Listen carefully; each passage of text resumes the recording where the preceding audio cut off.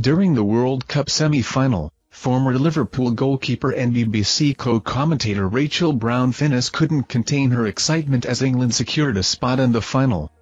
The tension escalated as Australia fought back, with Chelsea's Sam Kerr missing a crucial chance.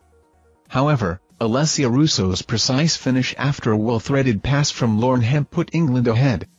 Brown-Finnis, known for her insightful analysis, lost her composure and enthusiastically cheered off mic, heard by viewers at home. England's journey saw Ella Toone's strong goal countered by Kerr's impressive strike, only for Hemp to regain the lead. The Lionesses endured Australian attacks before Russo's late goal sparked celebrations. They now face Spain in the final, aiming to become the first senior England team to win the World Cup since 1966.